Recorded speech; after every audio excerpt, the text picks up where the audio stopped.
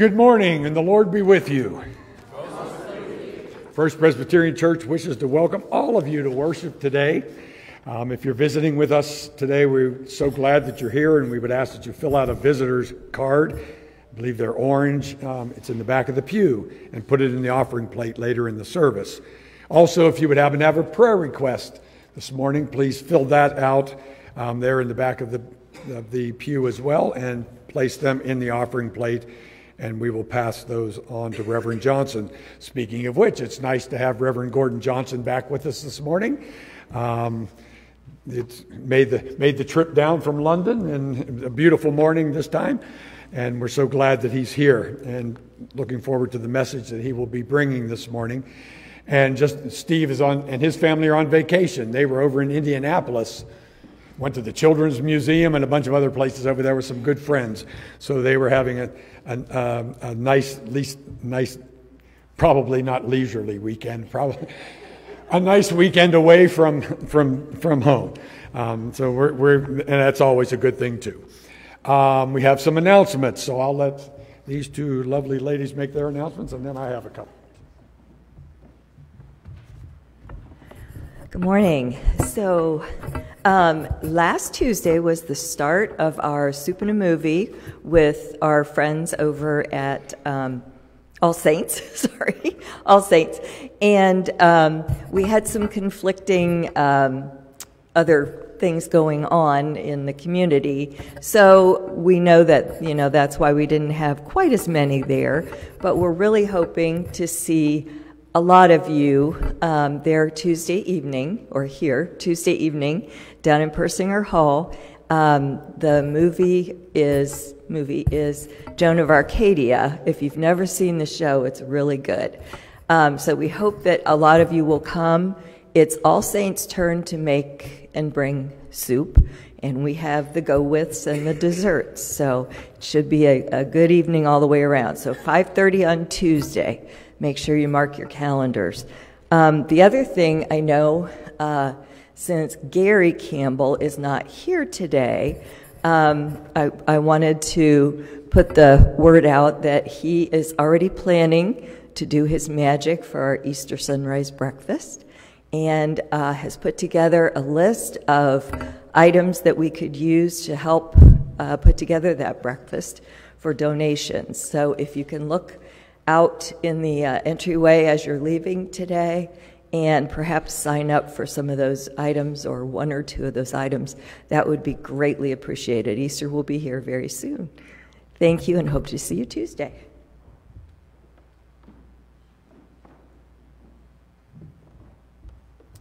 Well, this is the last time you'll have to hear this announcement because this coming Saturday is our Springtime at Luigi's dinner.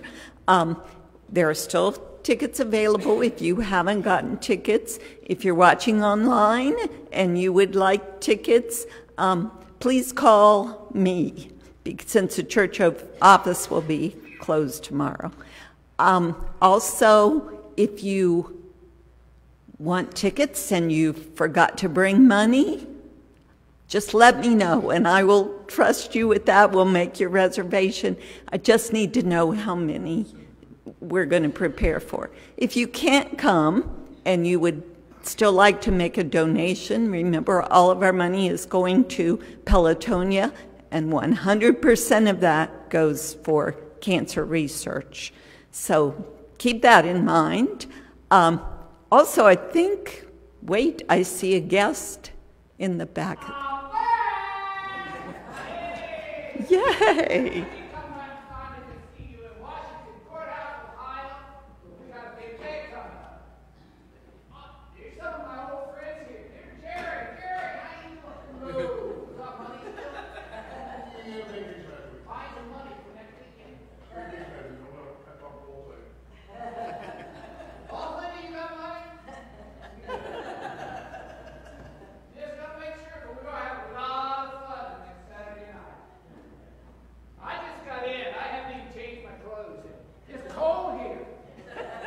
bet the spring's going to come in tomorrow.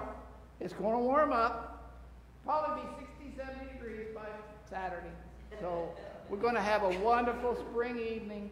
Uh, and we'll have a lot of fun no matter what the weather is. Just wanted to invite you to come. It's going to be a super meal. It's going to be a very special meal. I think you all will enjoy it a lot. It's a little different than what Luigi done, but I upscaled it. you know, you gotta be to change. Speaking of change, you ain't changed a bit. Are you not, are you a hundred yet? Yes. Okay, I know. You haven't changed a bit. And there, Mr. Jeff, he's still going to be our MC. He's not going to drink so much this year. no wine till after you do your thing. but we're going to have a lot of fun. But we want to, we make a lot of fun. We make a lot of jokes. But the main thing is we want to raise money for cancer research. Cancer has affected a lot of people in this church. A lot of people have had wonderful experiences with success rates. Some have not had the success rate. But we have to work on always to keep in mind we got to find a cure for this terrible disease that affects so many people. So, see you all Saturday night. What time does it start? Six o'clock dinner at 6.30, but you want to come at 6 o'clock hors d'oeuvres. And, oh, we're going to have hors d'oeuvres. Oh, we got, you, you're not going to believe how fancy this is. so, guys, if you messed up on Valentine's Day, you can make it up for now, okay? See you then. Also, we have lots of wonderful items for the raffle and the auction, so bring a little extra money.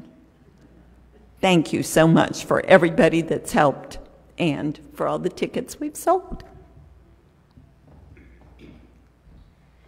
And two more real quick announcements. Um, speaking of, of a meal on Tuesday, the lunch group, the Tuesday lunch group, is meeting this Tuesday um, at Roosters this time as we kind of wander around the community at different restaurants.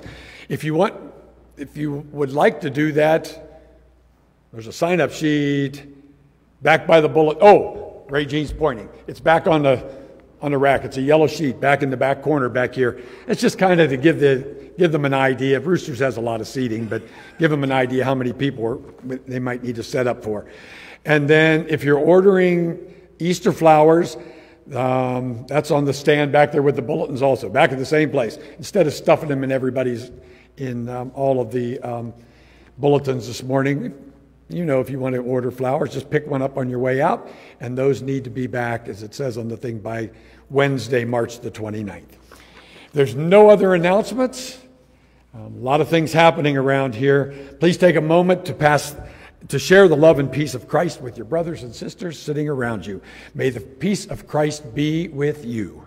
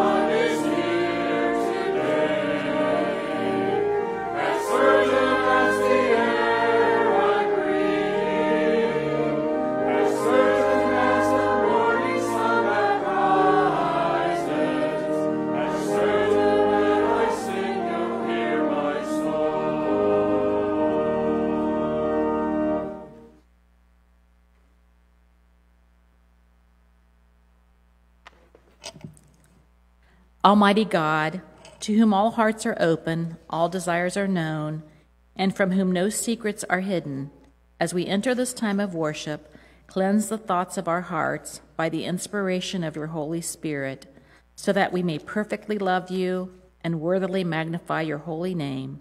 Through Jesus Christ our Lord. Amen. Please join me in our call to worship, taken from Isaiah 43, verses 1 through 5. The Lord God, who created you, says, Do not be afraid. I know you by name. You are my beloved. Our help is in the name of the Lord. When you go through troubling waters, I will be with you. Our help is in the name of the Lord. When you pass through rivers of difficulty, you will not drown. Our help is in the name of the Lord. When you walk through fires of oppression, you will not be consumed. Our help is in the name of the Lord. Do not be afraid. You are precious to me, and I am with you always. In you, O Lord, do we trust. Let us join together in our opening hymn, number 463 How Firm a Foundation.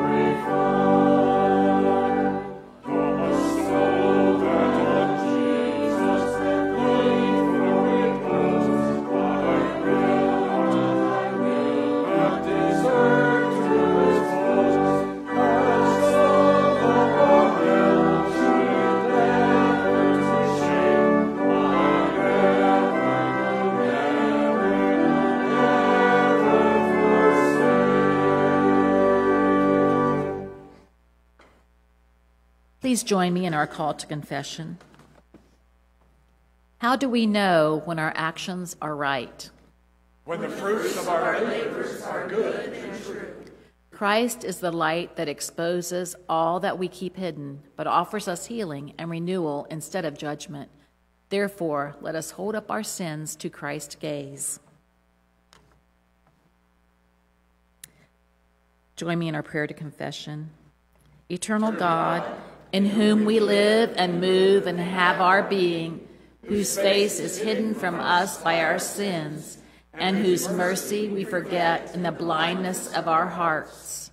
Cleanse us from all our offenses and deliver us from proud thoughts and vain desires, that with relevant and humble hearts we may draw near to you, confessing our faults, confiding in your grace, and finding in you our refuge and strength. Through Jesus Christ our Savior. Amen. Anyone who is in Christ is a new creation. The old life has gone, a new life has begun. Know that you are forgiven and be at peace. Amen.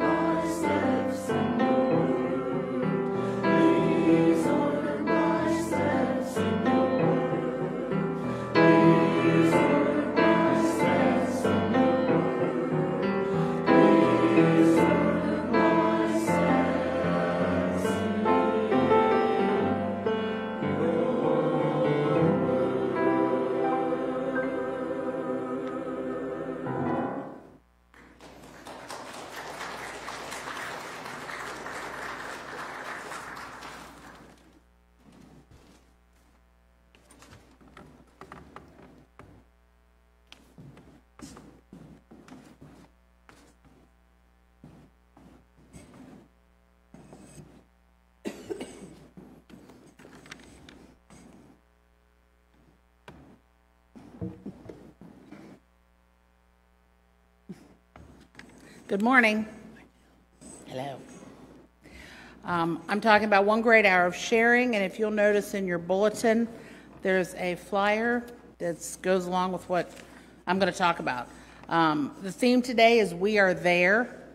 Uh, during one great hour of sharing, we hear the call to Isaiah 58 to become repairers of the breach, restorers of the streets we live in. During this Lenten season, we have heard stories of empowered and empowering women tenacious and faithful women, binding their families and communities together in strength. In every time and in every place, women usually filled the roles as leaders, quietly, diligently, persistently.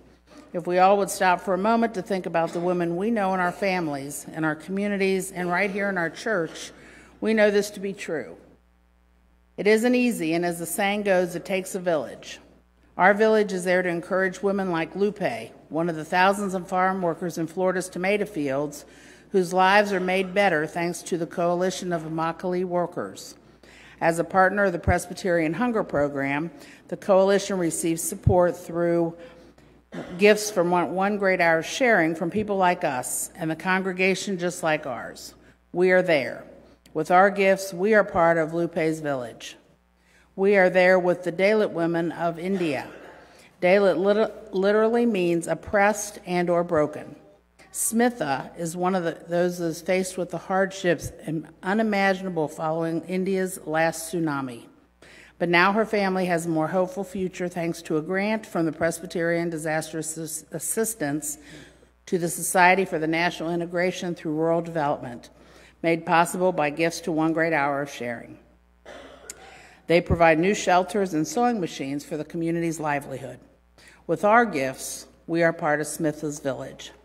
We are there with Paola and the other women in Panama City through a partnership with the Women's Meeting Space, a non governmental organization that or- advocates for the rights of Panama's women through indigenous and its poorest communities. They receive a grant through self development of people, supported by our gifts to One Great Hour of Sharing and started an experimental nursery and installed a community farm with the goal of not only feeding the growers' families, but selling surplus food to cover the basic needs of workers. With our gifts, we are part of Paola's village. We are there. Our work is informed by our belief that the church is not an institution, but an action. For the church to be the church, it must take action to those in need. For over 70 years, One Great Hour of Sharing has provided a way to share God's love with our neighbors in need around the world. Please give what you can, as they always say, when we all do a little, it adds up to a lot. Let us pray. Restoring God, you have called us to repair what in this world you love so much that has been broken. May the repairs made through our gifts bring life to communities in need and bring praise to your holy name. Amen.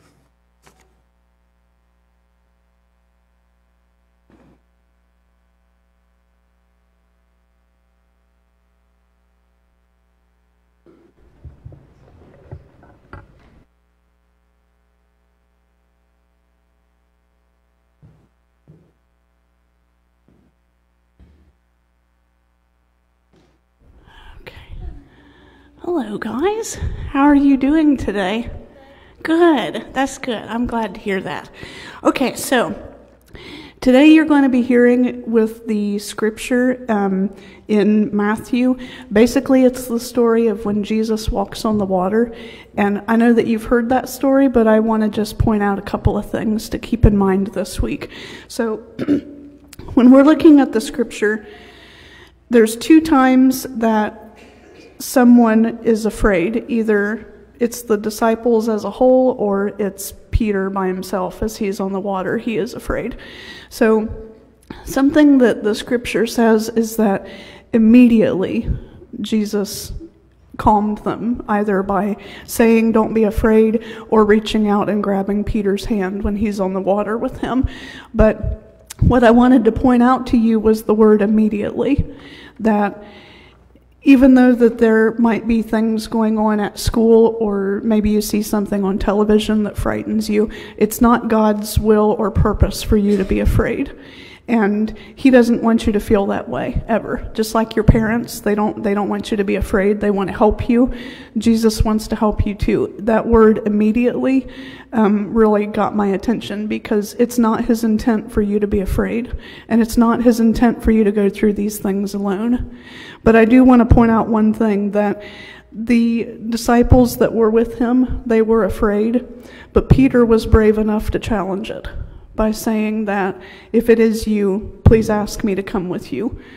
If if you're afraid, it's very hard to focus on above the fear. And um, have any of your parents seen The Shack? Have they told you that they've watched that movie, The Shack? No? Okay. Well, it's a little mature for you guys, but if your parents have seen The Shack, there's a scene where um, Mac is out on the water and he's being consumed with what looks like oil, but it's meant to show fear and all the bad things that have happened in his life.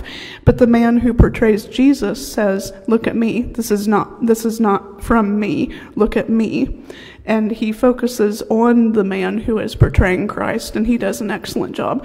But anyway, um, Jesus tells him, Look at me. None of this stuff is me. Just just be calm and, and look into my face and you'll find relief.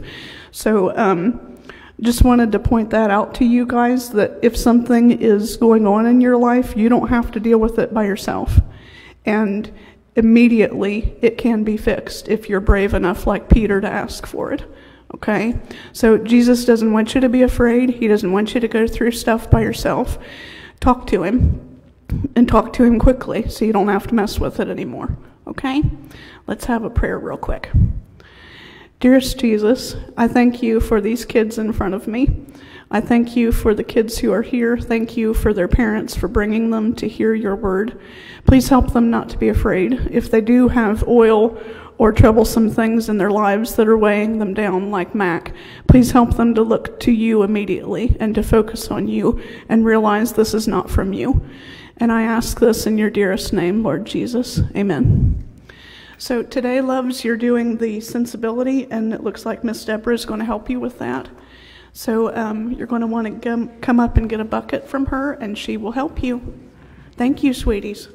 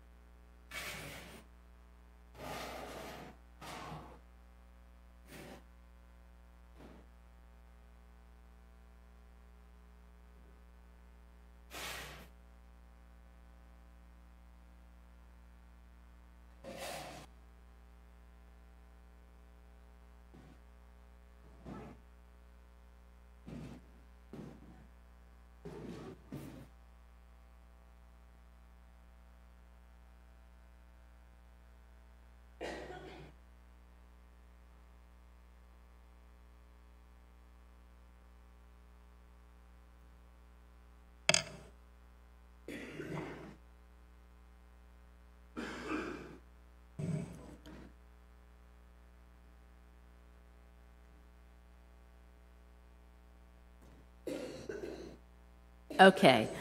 Um, please join with me in our first scripture reading, Psalm 23. Uh, the words will be up on the screen. I'll start and then you follow. The Lord is my shepherd, I shall not want.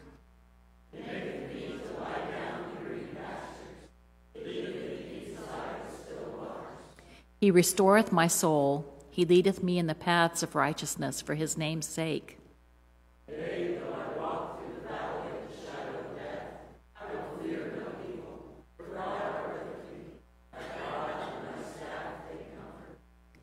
Thou preparest a table before me in the presence of mine enemies. Thou anointest my head with oil, my cup runneth over.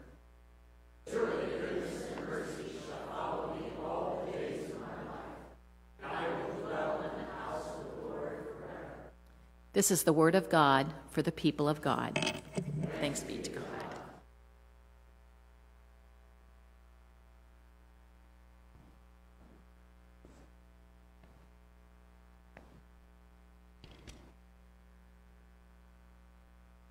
Our gospel lesson for this morning is from Matthew's Gospel, the 14th chapter, uh, beginning at the 22nd verse.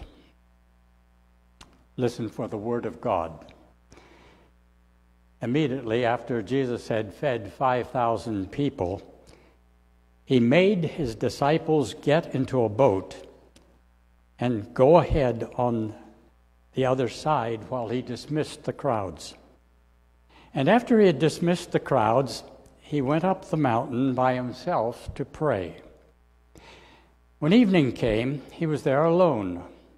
But by this time, the boat, battered by the waves, was far from the land, for the wind was against them.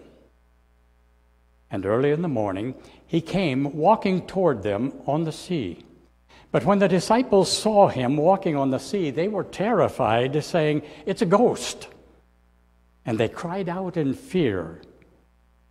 But immediately Jesus spoke to them and said, Take heart, it is I. Do not be afraid. Peter answered him, Lord, if it is you, command me to come to you on the water. He said, Come. So Peter got out of the boat, started walking on the water, and came toward Jesus. But when he noticed the strong wind, he became frightened and began to sink. He cried out, Lord, save me. Jesus immediately reached out his hand and caught him, saying to him, You of little faith, why did you doubt? When they got into the boat, the wind ceased, and those in the boat worshiped him, saying, Truly, you are the Son of God. This is the Word of God for the people of God. During my teenage years in Toledo, our church's youth group went downtown to Skid Row on Cherry Street and visited the Salvation Army's rescue mission. Walking through the front door of the mission, we were confronted by a huge mural painting that depicted this scene that Matthew uh, pictures for us in the gospel lesson for today. The picture was of a very frightened Peter sinking halfway beneath the billowing waves of the sea, a very angry sea, and Christ was stretching out his hand to save him. Wow, I thought to myself, what an appropriate painting uh, for a rescue mission. It became even more appropriate when the captain of the Salvation Army, who was showing us around through the mission station, pointed out that the painting had really been painted by a man who had been saved in the rescue mission. Christ had reached out his hand to this man and had saved him from an angry sea of drunkenness, debauchery, and near death. And the man had painted that wall as a token of his gratitude to Christ. In our lesson, immediately after Jesus had fed some 5,000 men, plus all the women and the children, so it could have been a crowd of over 10,000 people. After he had fed 10,000 with just five loaves and two small fish, the crowd, uh, stirred up by this miraculous event, wanted to take Jesus by force and make him their king, their leader.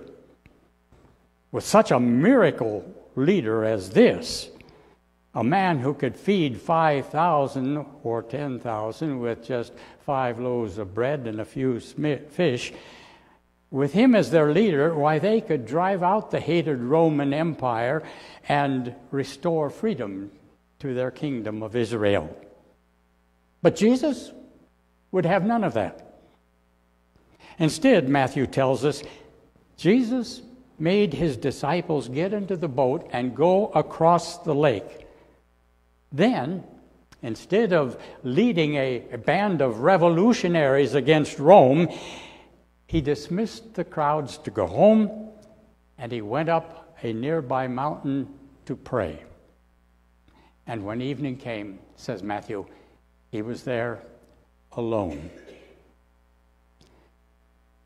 Jesus was such a very busy individual, constantly going about doing good for others during his three short years of ministry, that he often had to set aside some time and choose to take that time to be alone with God in prayer. Now, we Christians down across the centuries have been very diligent about repeating that prayer which Jesus taught his early disciples to pray, Our Father who art in heaven. But have we been as diligent in deliberately choosing special times to be alone with God in prayer? Jesus, that great minister of human need, often climbed the solitary hills to quench his spiritual thirst at the ever flowing fountain of prayer and to renew his strength and his courage for the events and the tasks ahead. As Jesus climbed the mountain that night, I, I wonder whether he might have repeated to himself the words of the psalmist I will lift up mine eyes unto the hills, from whence cometh my help. My help cometh from the Lord, maker of heaven and earth if Jesus needed such times to be alone with God in prayer, to renew his body, his mind, his spirit, how much greater is your need and my need? Richard Trench, the renowned poet of the 19th century, ex- uh, explains it or expresses it this way Lord, what a change within us one short hour spent in thy presence will prevail to make. What heavy burdens from our bosoms take. What parched ground refreshes with a shower. We kneel how weak. We rise how full of power. Why therefore should we do ourselves this wrong, or others, that we are not always strong? That we should ever weak or anxious be, troubled when with us is prayer and joy and strength and courage are with thee. While Jesus was up on the mountain praying that night, his disciples were far out on the lake, struggling with a storm in the night. The Sea of Life, just like the Sea of Galilee, is often subject to storms, angry winds, and waves all sorts of troubling incidents. The disciples had not really wanted to get in that boat and go across the lake. Matthew tells us Jesus made them made them get into the boat. He is putting them in a position where they're going to have to battle some angry waves during the night hours they're going to face contrary winds and billowing waves. Just because you and I are followers of Jesus Christ does not mean that we have the right to expect that the winds and the waves of life will always be favorable for us. God, you recall, sent a very angry wind and wave against Jonah, who was disobeying God. But here, here, the disciples are simply doing what Jesus made them do get in a boat. They were obeying. The winds and the storms of life come and go. Just because we follow Jesus doesn't mean we're exempt from the storms. When I was pre teenage, I had my first taste of death. My beloved Aunt Princess, and that was actually her name, Princess. She was my younger sister, and she lived like she was the princess of the house. But Aunt Princess, after whom my sister was named, Aunt Princess uh, in the early 40s was told by the doctor she had cancer. And back in the 40s, cancer was a death sentence. It was automatic. No one escaped it. We knew she was going to die. And she lingered on in unbelievable suffering until she died about nine months later. And I could never understand that as a little boy. Why God would allow such a holy person as my aunt to suffer and die like that. When she died, her caregiver gave the family a poem that she had by the side of her bed. And she insisted that that poem be read to her every night before she fell asleep. It was a take on the 23rd Psalm. It goes like this He leadeth me in pastures green. No, not always so. Sometimes he who knoweth best in kindness leadeth me in weary ways, where heavy shadows be. Out of the sunshine, warm and soft and bright, out of the sunshine into darkest night, I oft would yield to sorrow and to fright. Only for this, I know he holds my hand. So whether led in green or desert land, I trust, although I cannot understand. He leadeth me beside still waters? No, not always so. Oft times the heavy tempests round me blow, and o'er my soul the waves and billows go. But when the storm beats wildest and I cry aloud for help, the Master standeth by and whispers to my soul, Lo, it is I. Above the tempest wild, I hear him say, Beyond the darkness lies the perfect day. In every path of thine, I led the way. So, whether on the hilltops high and fair I dwell, or in the sunless valleys where the shadows lie, what matter? He is there. And more than this, He gives to me no helpless, broken reed, but His own hand, sufficient for my need. So where He leads me, I can safely go and in the blessed hereafter I shall know why in his wisdom he hath led me so.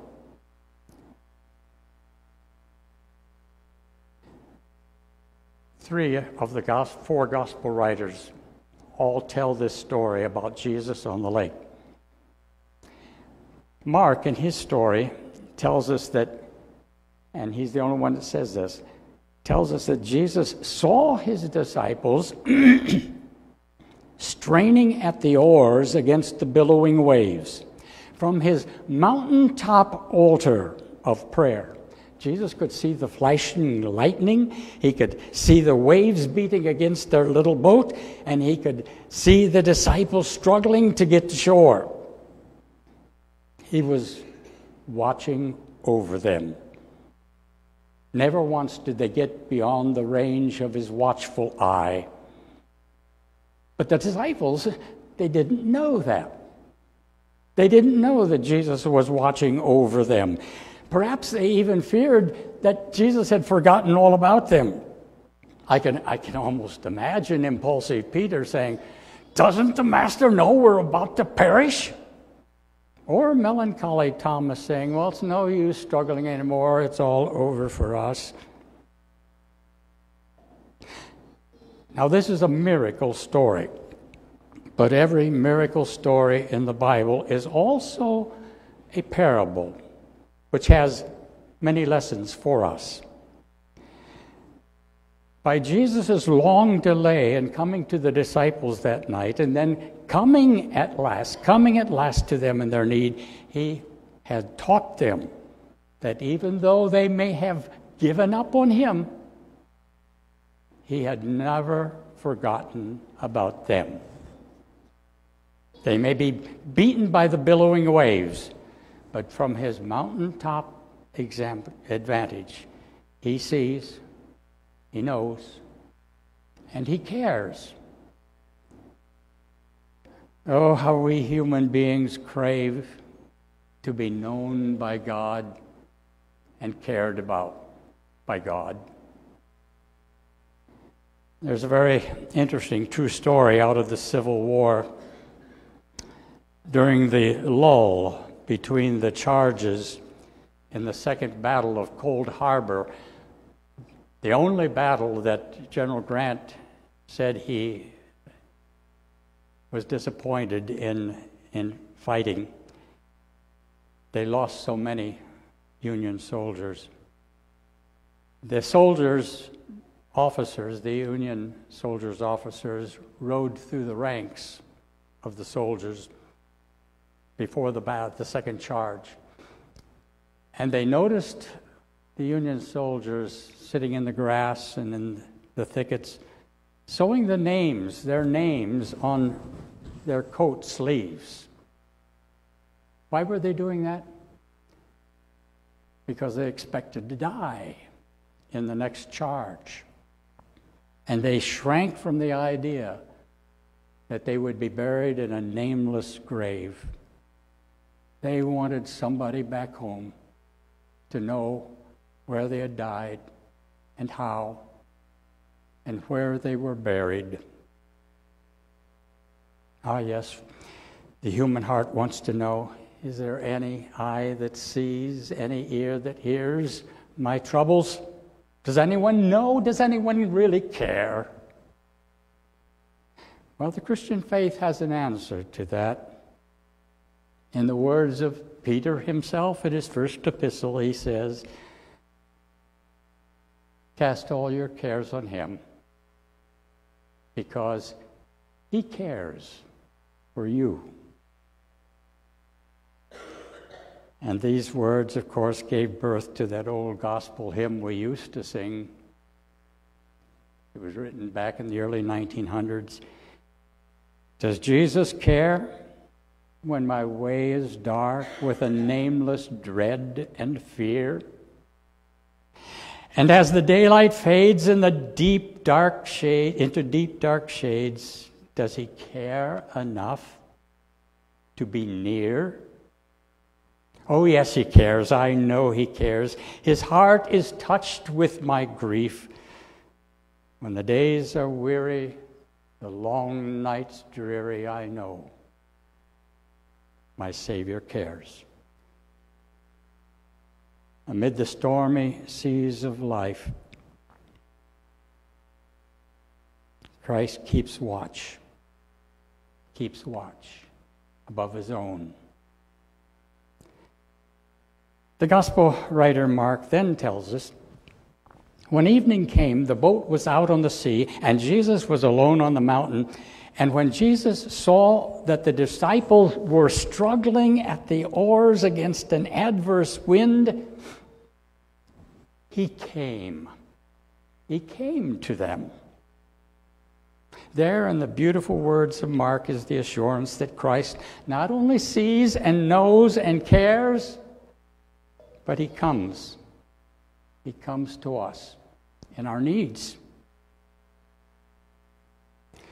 Somewhere between 3 and 6 o'clock in the morning, that eerie time when human alertness is at its lowest, Jesus comes walking on the water toward his disciples. And when the disciples first see him, they are terrified. And they start screaming, Look, it's a ghost! In addition to the raging storm and the dark, frightening night, now is added the terror of the supernatural. A ghost is coming for them. But immediately Jesus cries out to them and he says, Courage, it is I. Do not be afraid.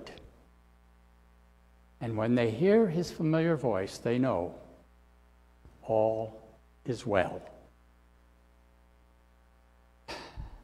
Jesus is that voice that speaks through the howling winds and billowing waves and dark nights of our lives, reassuring us that there is more than blind force and energy at work in the world. There is divine love planning and working for us in our lives. Let not your hearts be troubled, Jesus said. You trust God, trust me also. Courage, he says to his disciples. Courage, it is I. Do not be afraid. Now comes the dramatic incident about Peter that's recorded only by Matthew, not by Luke or Mark. When Peter realizes that it is Jesus coming to them on the water, all his fears and doubts vanish, and in a triumphant spirit he cries out, Lord, if it is really you, then bid me to come to you on the water. Now, it's not as if Peter doubts that it is really Christ coming to him on the water, but it's as if uh, Peter were saying, because it is you and because you have the power, tell me to come walking on the water also to you. If for no other reason, Peter is always listed first among all the disciples. He is listed first because Peter always was an individual that could tell you about the person and the power of Christ. True. Peter, Peter was fearful, but he did not doubt that Jesus had the power to enable him to even walk on water in the midst of a storm. Peter failed in his first attempt, as we shall see. But the great thing about Peter is at least he tried. He tried. Far better an effort that fails than a cruel, cold, calculating attitude that is afraid to take any chances whatsoever. In answer to Peter's request, Jesus says to him simply, Come. And without second hesitation, Peter characteristically just jumps out of the boat and he starts walking on the water to Jesus. For a little while, it goes well. As was pointed out in the children's sermon this morning, as long as Peter kept his eyes on Jesus, he actually does walk on water. But when he is distracted and looks away and notices the billowing waves, the angry sea. He becomes frightened and he begins to sink. And he cries out, Save me, Lord! Save me! A great many things happen when we become fearful, when we are afraid. Fear stifles our thinking and our actions paralyzes our courage, blots out all our goals. How many times Jesus said to his disciples, Fear not, be of courage, be good courage. Some Bible student has actually made a study of the Bible and claims that phrases like, Take heart, be not afraid, let not your hearts be troubled. Phrases like that, this student of the Bible says, occur 365 times in the Bible. That's one for every day of the year. When we fear, when we're afraid to put our faith into action, we begin to sink.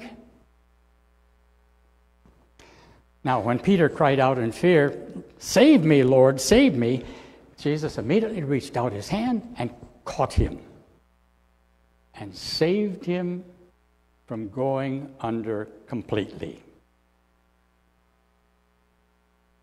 Anyone here this morning sinking? Sinking beneath some billowing waves of life? Sinking into some deep dark waters of discouragement, defeat, doubt, despair, depression, sinking beneath some billowing waves of suffering, sorrow, sin? If so, then do what Peter did. Peter has a quick, short prayer for you and me. Save me, Lord. Save me. And Matthew says immediately Jesus reached out his hand and saved him, caught him. And that hand, that hand has never lost its saving power. In August of 1932, there was an African American jazz musician who also composed and sang gospel songs living in Chicago. He and his wife, Nettie, were expecting, joyously expecting their first child. It was Thomas Dorsey and Nettie Dorsey. Reluctantly, he had to leave her behind while he drove some 300 miles down Route 66 to St. Louis because he had been invited to be the guest soloist there at a huge Baptist revival meeting. That night at the revival meeting, he was asked to sing gospel song after gospel song, one right after another. Finally, he took a break and sat down. When he sat down, the head usher came up to him and handed him a telegram. And the telegram had only four words in it your wife just died. He was devastated. A friend of his drove him the 300 miles back during the night to south side of Chicago. When he got there, he learned that his wife, his beloved wife Nettie, of 25 years of age, had died giving childbirth to a baby boy. But that bit of hope was dashed to pieces the next day when he died, too. After Thomas Dorsey buried his wife and his son in the same casket, he said this I fell apart. For days I clothed my, closeted myself I felt that God had done me a, an injustice. I didn't want to serve Him anymore or write or sing any gospel songs. I wanted to go back to the old jazz world I once knew so well.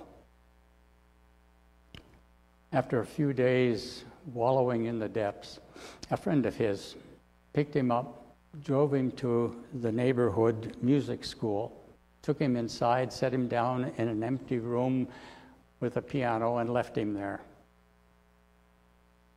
Dorsey said, I sat there for what seemed to be like hours.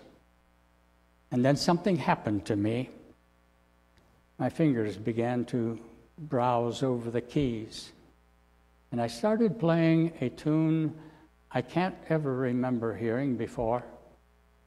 And words came to me. They just came to me. They all fell into place with the music. Precious Lord, Take my hand. Lead me on. Help me stand. I am tired. I'm weak. I'm worn. Through the storm, through the night, lead me on to the light. Take my hand, precious Lord. Lead me on lead me home. I invite you to sing that prayer with me, that beloved blues style hymn of faith, gospel hymn, Precious Lord, hymn number 834.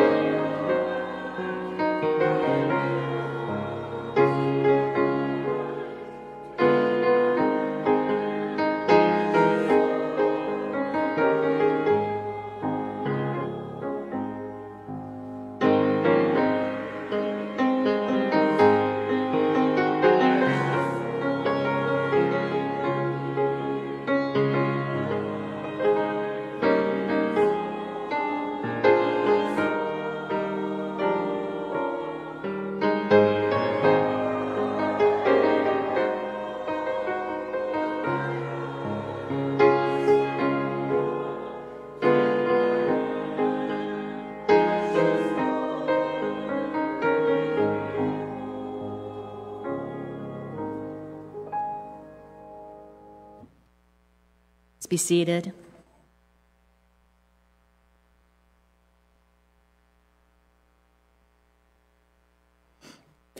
With gratitude for God's faithfulness and with thanksgiving for all that we have received, let us bring our gifts to God.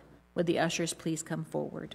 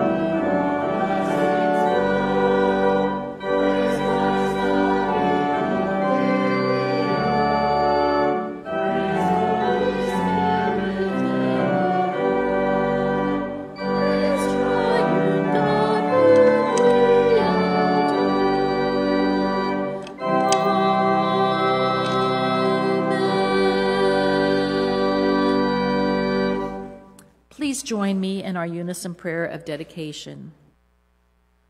The Lord Jesus says, Where your treasure is, there your heart will be also.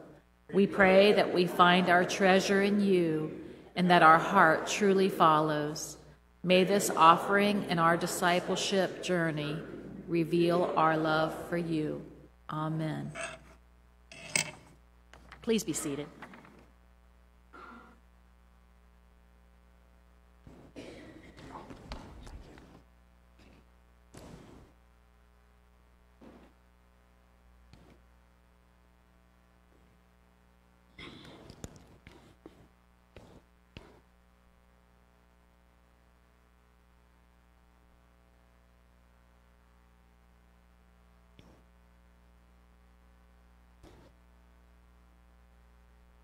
Let us lift our hearts to God in prayer.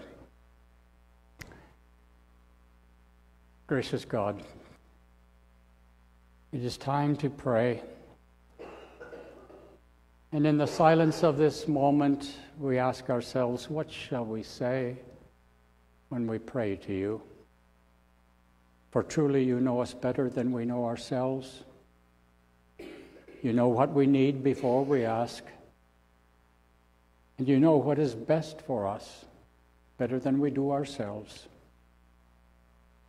You know the evil that we have done and the good that we have left undone. You know that at times we have been stubborn and self centered and selfish and difficult to live with. You know the couldn't care less attitude we so often exhibit in the face of people that truly need us. You know the pretending we do with each other, the masks we wear, the false images we so often project.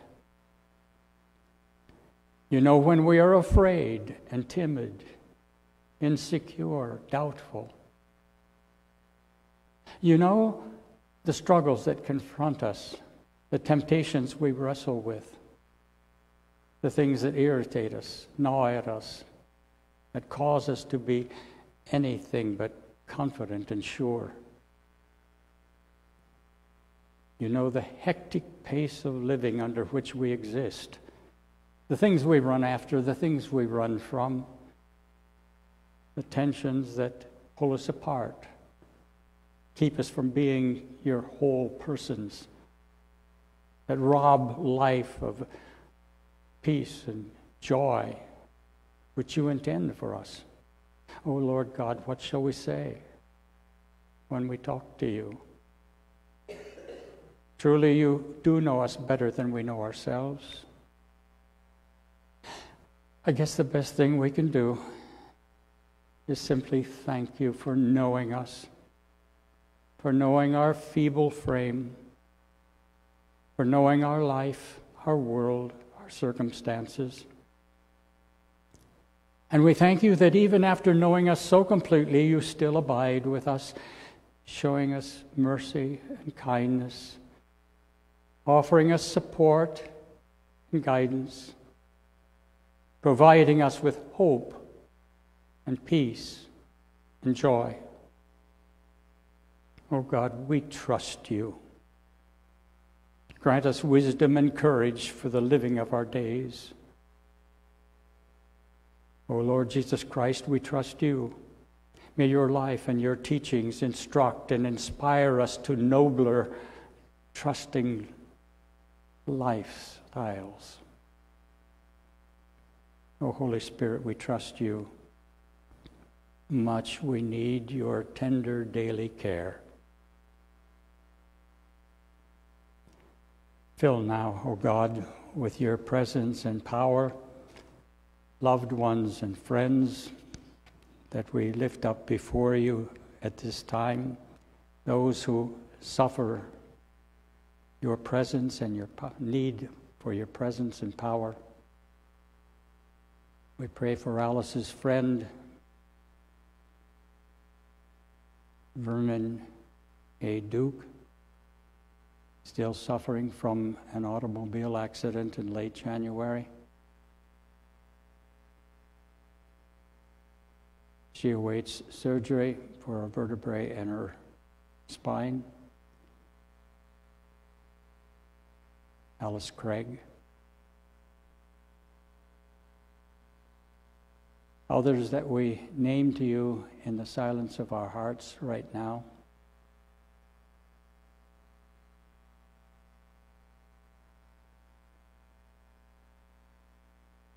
Loving Father, we thank you for knowing us and our friends and our needs so very well,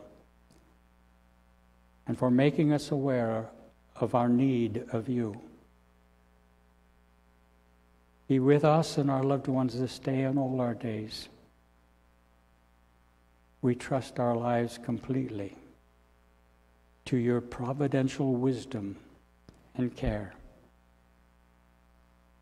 Amen. And now, with the confidence of God's children, we are bold to pray as Jesus taught us Our Father, who art in heaven, hallowed be thy name. Thy kingdom come, thy will be done on earth as it is in heaven. Give us this day our daily bread, and forgive us our debts as we forgive our debtors and lead us not into temptation, but deliver us from evil. For thine is the kingdom and the power and the glory forever. Amen. Give to the wind thy fears, hope, and be not dismayed. God hears thy cries and counts thy tears. God shall lift up thy head. Hymn number 815.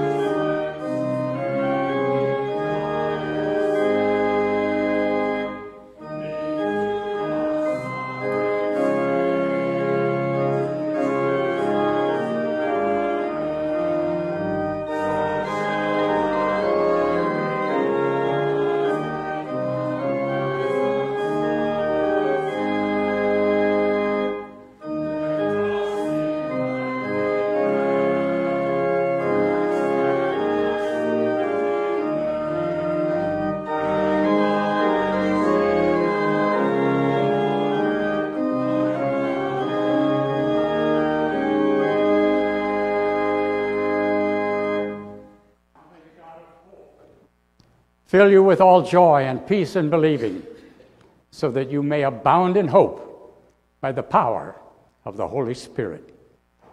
Amen.